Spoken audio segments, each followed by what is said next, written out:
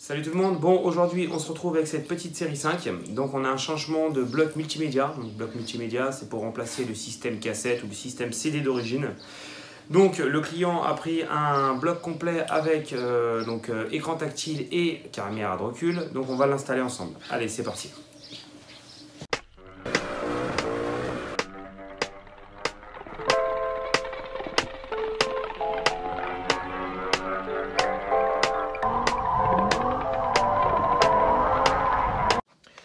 Donc, il a pris ce modèle-là, qui remplace parfaitement celui d'origine. Donc, CD en façade, avec bien sûr tout l'écran tactile. On a le câblage. Câblage, donc ça c'est les petits raccords si on a besoin, si on veut passer en, en 17 pins. On a bien sûr les antennes, et notre petite caméra de recul. Allez, on installe ça. Donc dans un premier temps, ce poste-là, donc poste cassette, pour pouvoir le retirer, pour ceux qui ne savent pas, petit bouton de volume, on le retire. Il y a une petite vis plate, donc un coup à gauche, hop. Ça permet donc de sortir le poste, on le débranche. Attention au fil d'antenne.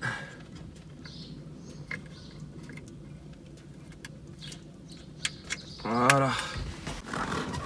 Donc maintenant, faut démonter le support de poste pour pouvoir retirer toute cette partie du haut.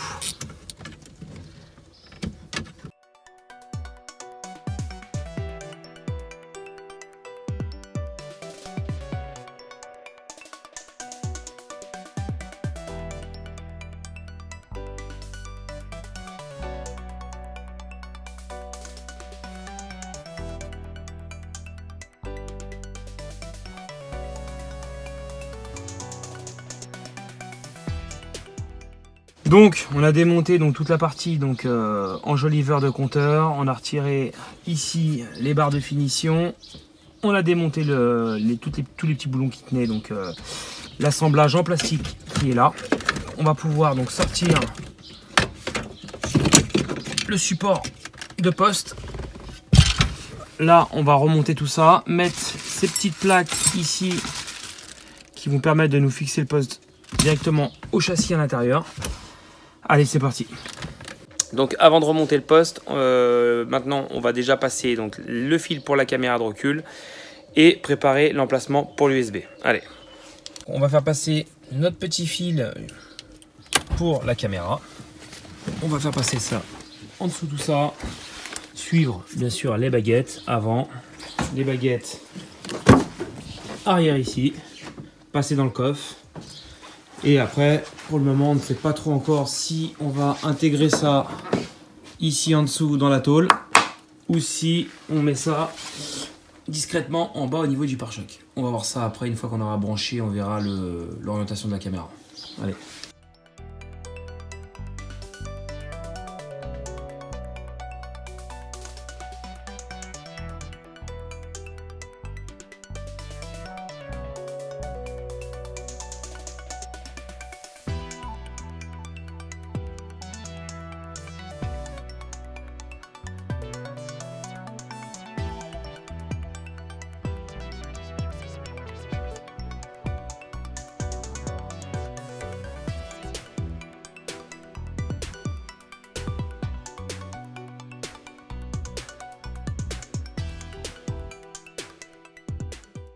Donc là, jusqu'à maintenant, on a passé le câble euh, donc pour la fiche euh, de la caméra jusqu'à l'arrière aux places assises.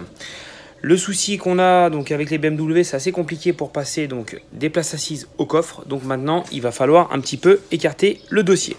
À cet endroit-là, juste en dessous, vous avez un petit boulon de 10.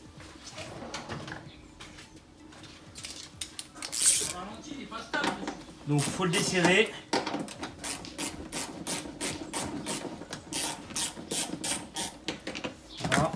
Qui va permettre d'avoir plus d'accès au niveau électrique.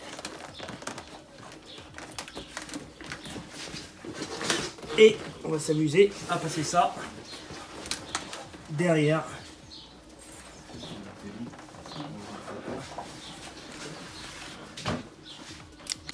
Donc, pour pouvoir récupérer donc, le fil euh, au fond, il va falloir donc déshabiller tout l'intérieur. Donc on a déjà retiré tous les clips. Après, au fond, en bas à gauche, vous avez donc un câblage d'origine. Et il faut essayer en fin de compte de récupérer le câble à cet endroit-là pour le faire passer jusqu'à l'arrière du coffre. Voilà. Allez, tiens, Teddy, je te le passe.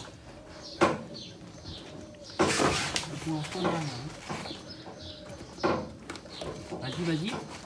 C'est bon, tu l'as Je l'ai. Allez, vas-y, tire.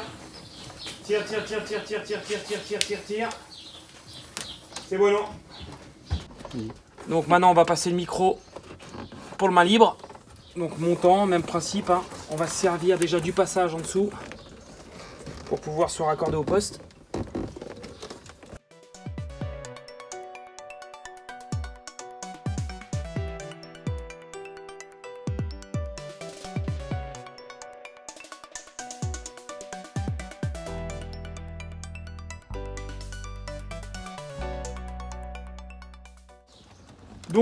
On a fait passer notre petit fil pour le micro et on a fait passer notre caméra de recul. Il nous reste l'emplacement donc USB. Euh, donc euh, Monsieur Nico, le rongeant de service, l'a voulu sur la petite barre ici. Donc on va faire ça proprement, on va l'ouvrir et l'intégrer euh, à l'intérieur. Donc je vais faire ça bien pratique pour que dès qu'il passe une vitesse, il casse.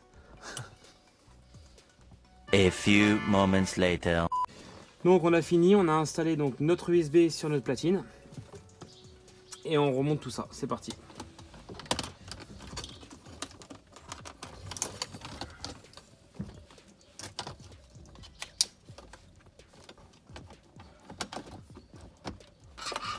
Donc on installe la petite antenne pour le Wi-Fi, celle-ci pour le GPS, donc on n'est pas obligé spécialement de le coller sur le pare-brise. Parce qu'il y en a qui vont me dire qu'il faut le mettre sur le pare-brise. On peut le mettre à l'intérieur du, euh, tableau de bord. Ça fonctionne très bien. C'est beaucoup plus esthétique. Donc simplement pour le mettre dans le truc, on le jette.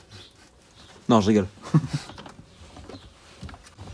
Donc le branchement de la caméra assez simple. Ici on a le verre aircam, ici reverse. Donc c'est pour l'alimentation. Donc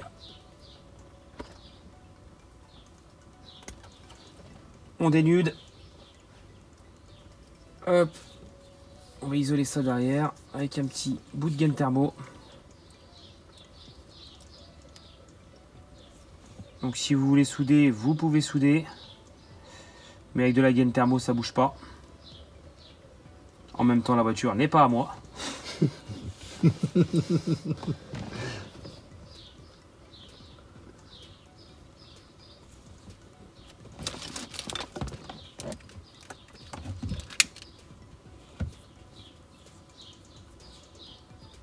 Hop là. Ça c'est fait. Hop, la caméra est branchée. On va brancher le micro. Donc on peut pas se tromper, hein. chaque fil a bien un dessin bien spécifique et on peut pas le brancher au mauvais endroit. Donc on va mettre notre GPS ici au fond. Dans le tableau de bord, essayer de coincer que ça fasse pas du bruit non plus. Au fond il y a des petites mousses, on le pose sur la mousse.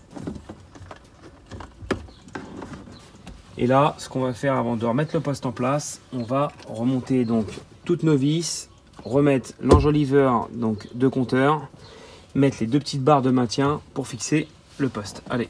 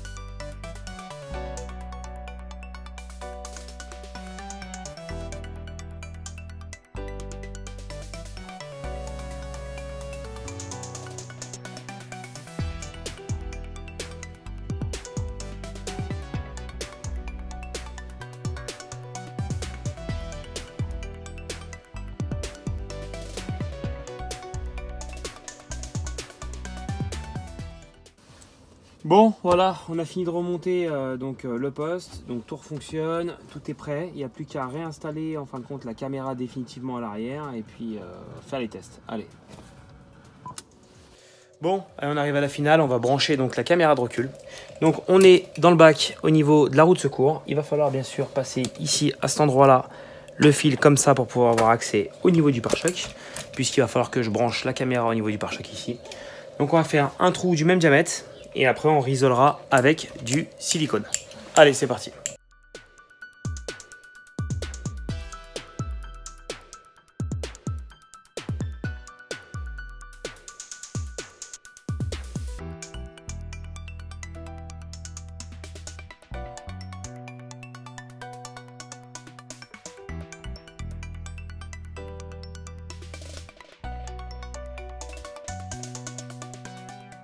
Bon, on a percé donc euh, l'intérieur au niveau de la roue de secours. On a fait passer un petit fil pour pouvoir donc justement après raccrocher celui-ci et remonter dans le, coffre. Là, ce qu'on va faire, on va donc bien sûr euh, percer le pare-choc, installer la caméra. Donc on a divisé la part en deux, on a mesuré, centré et on va installer nous notre caméra juste à cet endroit-là. Allez,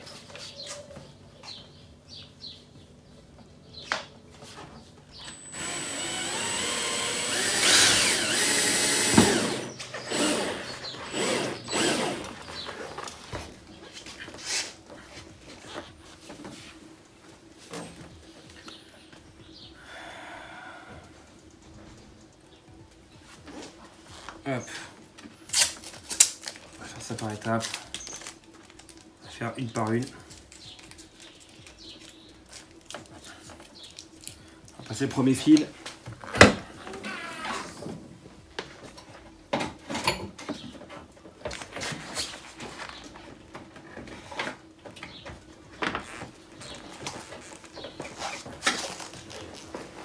Donc maintenant on arrive au moment du branchement. Donc logiquement pour mettre une caméra de recul, vous pouvez essayer de la mettre avec euh, le fil d'origine, etc.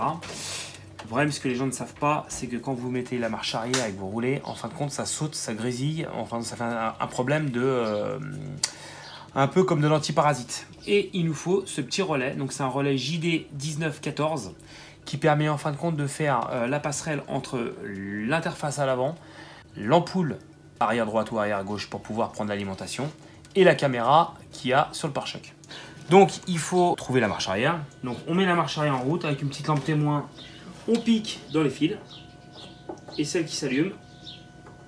Voilà. Donc on sait que notre fil marche arrière, c'est le noir et vert. Donc déjà, il n'y a plus qu'à raccorder tout ça, brancher notre caméra de recul et faire un essai. C'est parti. On a préparé notre alimentation plus moins. Donc le moins, vous n'êtes pas obligé de brancher sur la batterie. Moi, je le mets directement, vu que j'ai mes petites cosses comme ça, c'est plus pratique.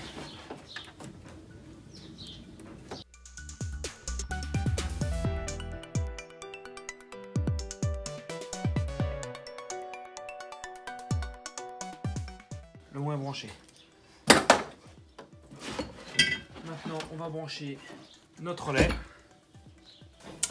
Donc après une petite euh, panne de batterie de téléphone, donc on a fini entre temps le, montage.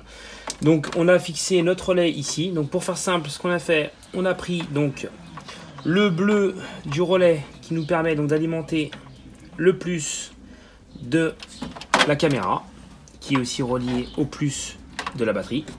On a la masse qui est reliée donc bien sûr au noir du relais, la masse de la batterie et la masse de la caméra. Au niveau du relais, le fil jaune, c'est pour alimenter le plus qui est à l'RCA. Et le blanc qui est relié, bien sûr, donc sur le feu de recul. Donc voilà, tout est installé. Marche arrière. Hop. On voit bien, la caméra de recul fonctionne. Donc tout est impeccable, c'est nickel. Bah voilà, notre petite vidéo sur le montage multimédia de cette 39 est finie. Donc dans l'ensemble, opération assez simple, hormis de sortir le poste et euh, donc le support du poste. Euh, donc il y a un petit peu de démontage. À pas oublier de mettre le petit relais à l'arrière, sinon quand vous allez passer votre marche arrière, la caméra de recul va se brouiller et va sauter. Donc pensez à l'acheter. Je vous mettrai le lien, ça vaut euh, 3 francs 6 sous. Donc c'est important de le mettre. Sur ce, bon bah pensez à partager, les petits pouces bleus, ça fait plaisir et je vous dis à la prochaine. Ciao